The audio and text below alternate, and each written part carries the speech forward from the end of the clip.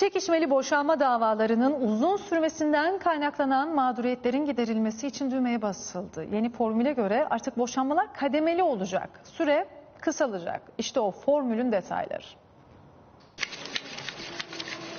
Problemler çözüldükten sonra boşanma olur. Günümüzde baktığın zaman çoğu anlaşmalı boşanıyor. Pek çok çifte senelerce boşanamıyor. Taraflar uzlaşamayınca davalar uzadıkça uzuyor. nafaka ve tazminat talebi varsa davalar ister istemez senelerce uzayabiliyor. Çekişmeli boşanma davaları için kademeli formül gündemde. O formüle göre mahkeme çiftleri önce boşayacak, daha sonra da çekişmeli olan konular üzerinden dava devam edecek. Her şekilde bayanlar mağdur oluyor maalesef. Erkeklere göre hiçbir şey yok. Mağdur olan çocuklar.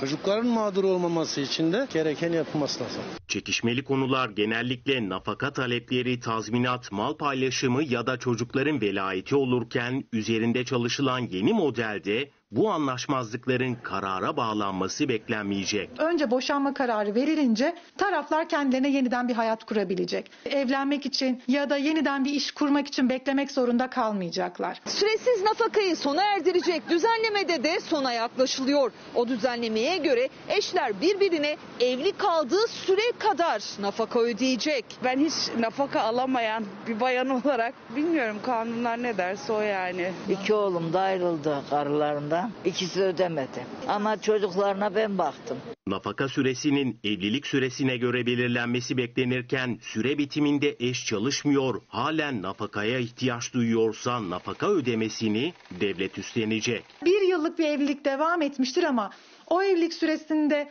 eşlerden birisi fiziksel veya ruhsal olarak çalışamayacak hale getirildiyse bir yıllık nafakaya hükmederek nafaka mağduru haline getirmemek gerekir. Hani sırf evlenip de boşanı veriyorlar ya nafaka için. Ona karşıyım.